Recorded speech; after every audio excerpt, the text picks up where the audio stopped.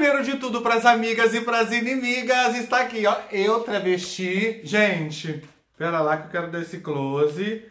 Obrigada a cada um de vocês aí que me ajudaram a chegar ao segundo exemplar, a segunda tiragem do meu livro, Sucesso, Eu Travesti, em parceria com Nana Queiroz, da Record. Para quem não me conhece, meu nome é Luísa Marilac. Hoje eu quero tocar num assunto, deixa eu posicionar essa câmera. Hoje eu quero tocar num assunto que eu acho bem. Que, que é um assunto que eu acho que toda vez que eu vou fazer um vídeo assim, eu peço a Deus que ilumine meus caminhos, ilumine minhas palavras, porque eu faço vídeo sempre com o intuito e com a intenção de ajudar, né? É, é, vamos falar de, de, relacionamento entre ex e, e ex e, e atual e filho algumas coisas que eu já vivi, algumas coisas que eu já vivenciei. Vamos comentar sobre isso. O lugar da ex, o lugar da criança, o lugar da família. É, baseado nas minhas experiências é, é, é com relacionamento, é, quando um relacionamento se desgasta e dentro de um relacionamento uma pessoa só ama sozinha, essa pessoa sempre vai se lascar, não adianta. Principalmente se o relacionamento é interrompido é, e fica uma história mal resolvida e tal. E a pior coisa no meio disso tudo é aparecer uma atual, né? Que aparece atual, aí você começa se a pessoa mora perto de você, você começa a ver ele com o atual namorado ou com a atual mulher que seja, você começa a se sentir mal porque você gosta, porque você terminou um relacionamento, a gente se sente magoada, se sente ofendida.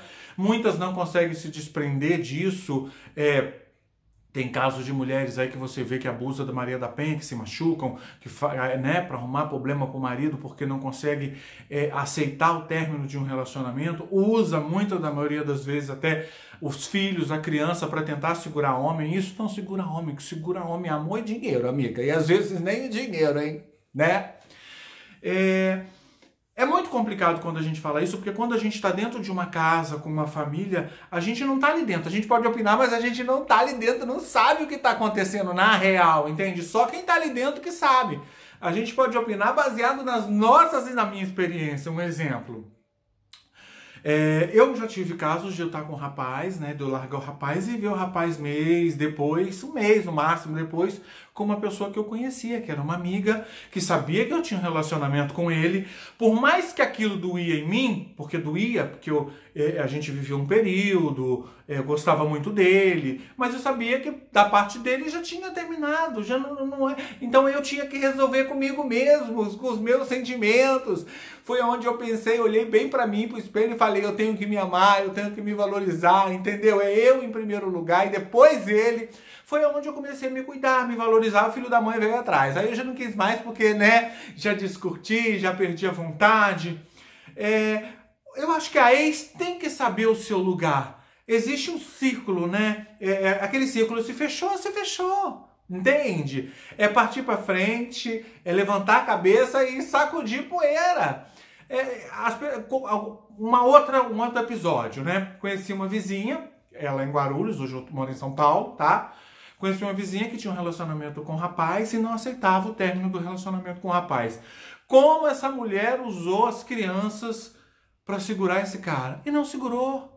Porque os filhos amavam o pai e ela fez de tudo, já que ela não conseguiu segurar ela, tentou impedir que ele visse as crianças. Ela fez o maior escândalo e no fim das contas quem pagou quem sofreu foi as crianças, né? No meio de toda essa turbulência, é sempre a criança que paga, né? Então eu acho que aí os dois têm que ser ter maturidade e entender que a criança vem em primeiro lugar, né? É, e o fim de um término de um relacionamento é sempre o fim de um término de um relacionamento, gente. Não tem jeito. Acabou, acabou. Por mais difícil que possa ser, é bola pra frente né? É, é, é, construir uma nova vida, se cuidar, se amar, se valorizar. Use o seu período, período de luto e ó, acabou, amor. Bora partir para outra, né?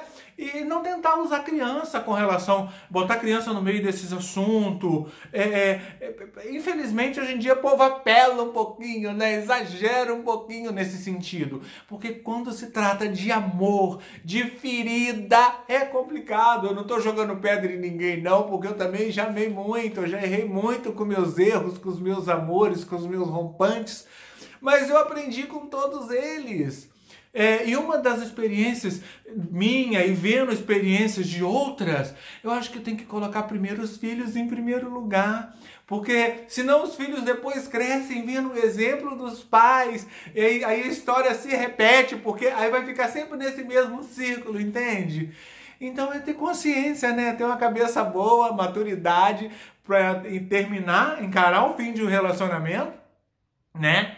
É, e partir para outro, né? De uma forma saudável, sadia, é, que, que as crianças não sofram, que você sofra o menos possível e deixar o povo ser feliz. Nós, mulher, no fim das contas, sempre nos estrepamos, amiga, não tem jeito. Eu nunca vou ficar contra uma outra mulher, é, principalmente nesse sentido, porque eu já vivi os dois lados da moeda, o lado daquela que, que perdeu, como o lado daquela que ficou com o rapaz. Mas eu tive a consciência, olha, eu sei que você era ex dela, sem muita esfregação, sem muito beijinho, porque eu sei que eu podia machucar, eu podia ferir, eu podia magoar aquela pessoa que eu sei que poderia estar gostando ainda, ter algum sentimento por aquela pessoa. É questão de consciência, de bom senso, né? De maturidade. Aí vai de cada um, né? É, a questão é, amor, é partir para outra. Ex, lugar de ex é lugar de ex. Se não tem condições de ser amigo, pelo menos uma convivência pacífica, não é verdade? Tem que existir. Somos seres humanos racionais, então vamos botar a cabeça para funcionar, esquecer um pouquinho mais do sentimento. Por mais que eu sei que possa ser difícil, porque quando a gente coloca amor, amor, quando se trata de amor, eu sei porque eu amo um filho da mãe até hoje, aquele lá do, do, do né, que fez a Elsa na bicha e tal. Eu amo até hoje. Eu não consigo me desligar, é uma história mal resolvida. Eu sei bem o que é isso. Mas eu não deixo isso me abater, não, meu amor. Aprendi a me amar, me valorizar e gostar de quem goste de mim. Então comece a gostar de quem goste de você. Olhe na frente do espelho e passe a se amar. É a melhor coisa que você faz. Me segue lá no Instagram, arroba Luísa com S Marilac com dois Czinho mudo, tá bom? Beijo no coração e amor próprio é a base de tudo, amor. Ninguém vai te amar mais do que você tem que se amar. Fique com Deus.